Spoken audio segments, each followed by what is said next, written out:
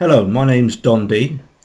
Uh, I'm a user of uh, Serif Web Plus and you'll find me on the Web Plus forum on the serif.com site.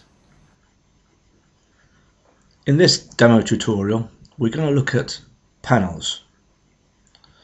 As a quick demonstration I'm here in uh, Explorer with homepage of the demo site. We have two buttons login and contact.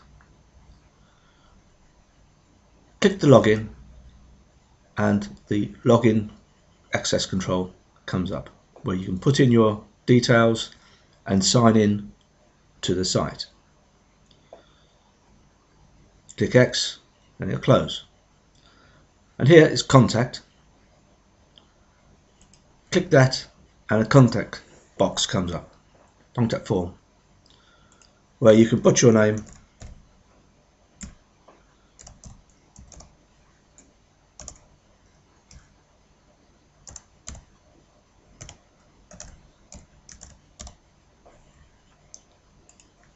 and then send a message.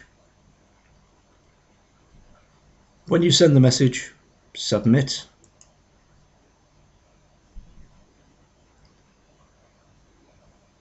and the page gets sent to the CAPTCHA, which is standard these days. Then you put in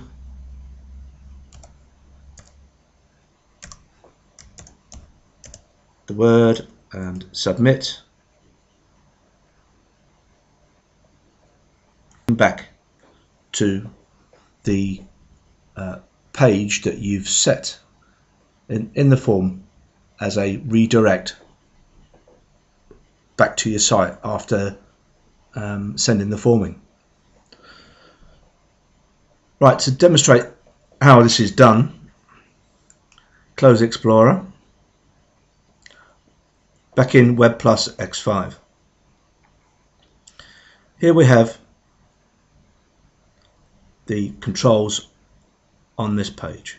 Contact, login, and you see these two question mark circles? They are the panels which are hidden from view while you're once you've set them up and you uh, you're designing the page just so it's not in the way. And obviously not only is it not in the way it's not visible when you upload your, onto your site. Uh, only becomes visible when you click the buttons. Right, if we go over to this site here which has not got buttons on or anything, we'll start. First off, you need to you need your panel. Click on the left hand toolbar and insert panel. You can give the panel a name if you like. I'll call it control and then we can give it a color. You click this, it, it click the button here. It um, you got predefined colors, or you can go into the panel designer where you can put any design you like for the, for the background of the panel. And then commit.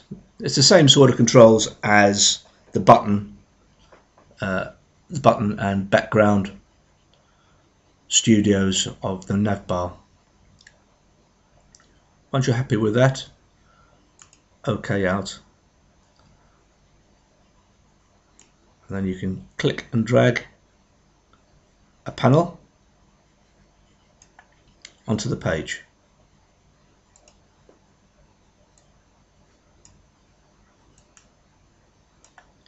There we go. And now we want a button. If you've seen my button tutorial uh, or, or, even the navbar tutorial, you'll know how to do this. I've already set one up to save a bit of time put it onto the page there. Okay. Right, so this button here is going to control this panel to make it visible and also invisible if required. So here's the panel. We're going to put an access control on it now. Click your smart objects. Select your access control, insert, and put your access control on the panel.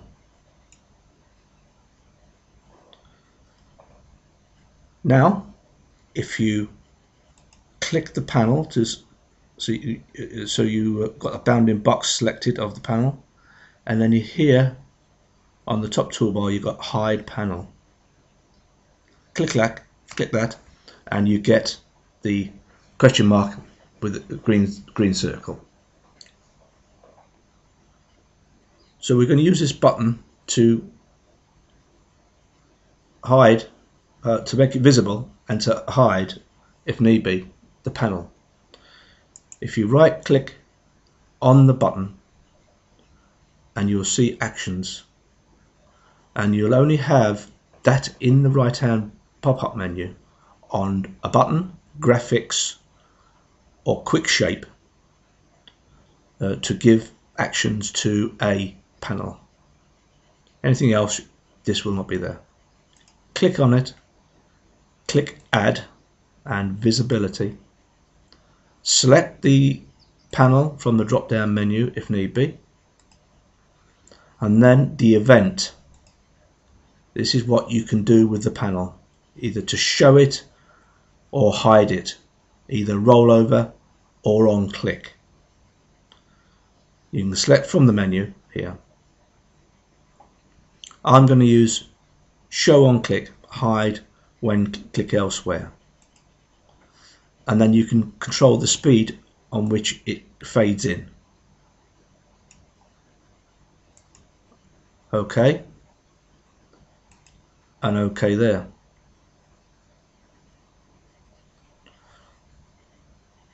What we can do now, we can preview that just to show that it does work in Explorer.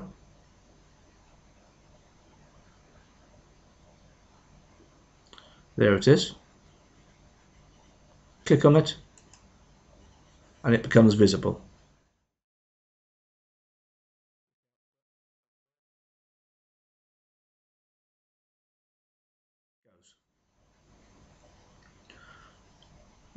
You might have noticed on my demo I had a a, circle with a cross in. That was a graphic uh, which I put on the panel and gave that graphic a um, an action to close that panel it was on once it was clicked. Well, I hope you enjoyed this tutorial. Uh, there is more to do with panels, um, and I'll, I'll, most probably do at least another one tutorial on this. Okay, goodbye.